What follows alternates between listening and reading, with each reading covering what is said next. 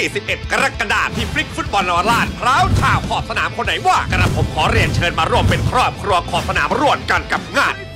ขอบสนามแฟมคัพอัดแน่นด้วยกิจกรรมแห่งความสนุกเตะบอลเจ็ดคนพร้อมชนกับอาหารและกิจกรรมมากมายก่ายก็199 บาทต่อคนได้เตะทั้งบอลเสื้อบอลโลกและริสแบนขอบสนามสุดพิเศษ สนใจร่วมงานง่ายๆแอดไลน์เลยไลน์แอดขอบ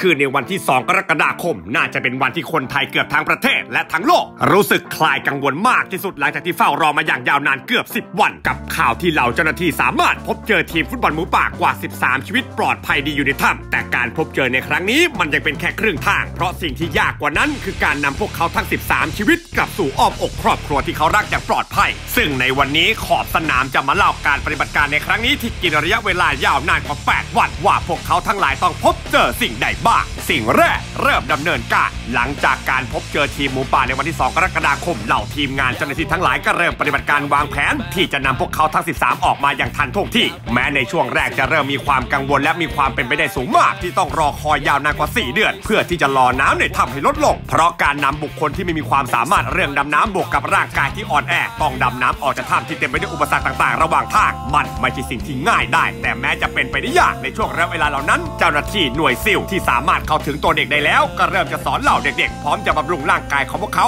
ให้มีความแข็งแรงมากที่สุด เพื่อให้พร้อมมากที่สุดในการปฏิบัติการออกจากถ้ำให้เร็วที่สุดจนวันที่ 8 กรกฎาคมวันที่ทุกอย่างเป็นใจมากสุดไม่ว่าจะเป็นระดับน้ำในถ้ำที่ลดต่ำลงจนบริเวณถ้ำช่วงโถง1-3 สามารถเดินเชื่อมถึงกันได้แล้ว แถมร่างกายของเหล่าทีมหมูป่าที่เริ่มมีการรักษาตัวและบำรุงร่างกายโดยเหล่าทีมแพทย์ที่มีความชำนาญการก็เริ่มมีความพร้อมมากพอสมควรประกอบกับถ้าพวกเขาไม่เริ่มดำเนินการภายใน 2-3 วันนี้ สภาพอากาศตามพยากรณ์อากาศที่บ่งบอกว่ากำลังจะมีพายุเข้าทำให้พวกเขาเหล่าทีมงานสั่งดำเนินการในช่วงวันนั้น ตั้งแต่เวลา 10 โมงเช้าทันที 2. การรวมตัวของทีมระดับโลก การเริ่มลงมือเลยไม่ใช่สิ่งที่ง่าย แม้เหล่าเจ้าหน้าที่ของประเทศเราจะมีกำลังที่เพียบพร้อม แต่ด้วยภารกิจที่ไม่สามารถพลาดได้เลยแม้แต่วินาทีเดียว พวกเราได้รับการช่วยเหลือและรวมตัวของทีมระดับโลก แบบที่เราไม่เคยเห็นที่ไหนมาก่อน ไม่ว่าจะเป็นการเสริมทัพทีมดำน้ำระดับโลกของชนชาติอังกฤษ ที่ได้ถือว่าเป็นมือเอกมากที่สุดของโลกใบนี้ในเรื่องการดำน้ำมากถึง 7 คนดร.ริชาร์ดแฮร์ริสวิสัญญีแพทย์และนักดำน้ำผู้มีประสบการณ์สำรวจถ้ำและกู้ภัยอย่างโชกโชน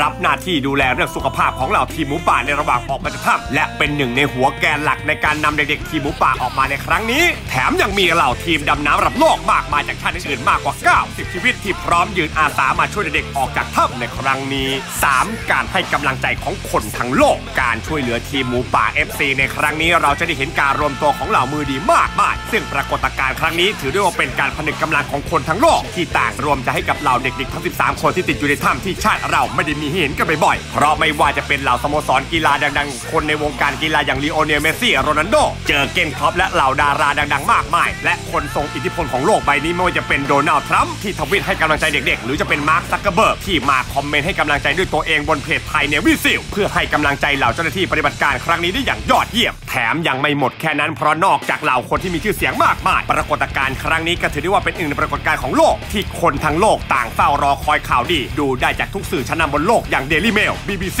CNN ABC ทุกสื่อต่างให้ความสนใจกันหมด บางสื่อถึงขนาดแบ่งช่วงเวลา airtime ในการรายงานข่าวทำสกู๊ปเรื่องราวของทีมหมูป่าติดถ้ำกันเลยทีเดียว 4. การเข้ามาช่วยของชายที่ฉลาดที่สุดในโลก อีกสิ่งหนึ่งในระหว่างการปฏิบัติภารกิจครั้งนี้ที่น่าจะเซอร์ไพรส์มากสุดมันคงหนีไม่พ้นการลงมาช่วยของผู้ชายที่ทุกคนต่างยกให้เขาเป็นชายฉลาดที่สุดในโลก และทุกคนต่างยกให้เขาเป็นโทนี่สตาร์กในโลกแห่งความจริงกับอีลอนมัสก์ซึ่งหากใครที่ไม่รู้จักผู้ชายคนนี้ทางเราอธิบายกันแบบง่ายๆ ว่าอีลอนมัสก์เป็นเจ้าของบริษัทเทคโนโลยีล้ำยุคมากที่สุดของโลกใบนี้อย่าง SpaceX การันตีด้วยการเคยส่งจรวดขึ้นไปยังดวงดาวอวกาศมาแล้ว ซึ่งแม้ในภารกิจครั้งนี้ เราจะไม่ได้เห็นการใช้เครื่องมือช่วยเหลือจากอีลอนเนื่องด้วยภารกิจที่รีบเร่งและต้องแข่งเพื่อไม่ให้สภาพอากาศมันจะเลวร้ายมากกว่านี้ แต่เราก็ได้เห็นถึงความพยายามที่ช่วยอย่างจริงจังของผู้ชายคนนี้ เพราะทันทีที่ตัวเขาได้รับทราบข่าว พี่แกไม่รีรอสั่งให้ทีมงานค้นคว้าวิจัย สร้างเรือดำน้ำจิ๋วขนาดเล็กเพื่อขนย้ายเหล่าทีมหมูป่าแบบทันทีซึ่งหลังจากเรือดำน้ำจิ๋วสร้างเสร็จตัวเขาก็ได้สร้างเซอร์ไพรส์คนไทยได้เห็นถึงน้ำใจอีกครั้งด้วยการลงมาพื้นที่ด้วยตนเอง เพื่อส่งมอบและได้แลกเปลี่ยนความเห็นแบบตัวต่อตัว แม้เหล่าอุปกรณ์พวกนี้จะไม่ได้ถูกนำมาใช้ แต่ตัวเขาก็ได้ส่งมอบให้แก่เหล่าเจ้าหน้าที่ เพื่อให้มันมีประโยชน์ต่อไปในวันข้างหน้าสุดท้าย mission complete ณตอนนี้ทุกคนคงทราบกันเป็นอย่างดีแล้วกับภารกิจที่กินเวลายาวนานมากกว่า 17 วัน 4 ชั่วโมง 29 นาที 5 วินาทีได้สมบูรณ์แบบ mission complete เป็นที่เรียบร้อย แต่ภารกิจนี้คงไม่ประสบความสำเร็จหากขาดความร่วมมือ ความสามัคคีที่ไม่ว่าจะเป็นชนชาติไหนศาสนาใดหรือจะเป็นการเสียสละของชายชาติทหารจ่าแซมที่เราต้องจดจำเขาไปตลอดกาลแม้ในเดือนเมษายนที่ผ่านมาเราอาจจะได้เห็นการรวมตัวของเหล่าซูเปอร์ฮีโร่อย่างโลกมาร์เวลที่เยอะมากสุดในอเวนเจอร์ a v e n g e r Infinity War แต่มาวันนี้การรวมพลังของพวกท่านทั้งหลาย ก็ทำให้เราได้ประจักษ์แล้วว่า a v e n g e r ไม่จำเป็นต้องเป็นมนุษย์ที่มีพลังทรงพลังเหนือมนุษย์ ไม่จำเป็นต้องมีเกราะเหล็กอันสุดแสนจะไฮเทค ไม่จำเป็นต้องเป็นพระเจ้าที่มีพลังสุดแสนแกร่งกล้า แค่พวกท่านรวมพลังและกล้าจะทำความดี พวกท่านก็คือเหล่า a v e n g e r ของพวกเราไปแล้ว พวกเราในนามขอบสนามขอ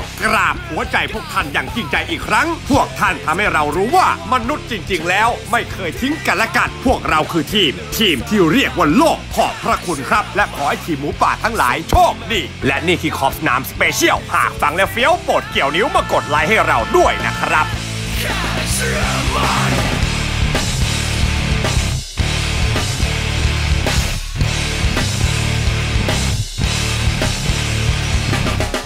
ลองทำดูให้เราได้รู้สักครั้ง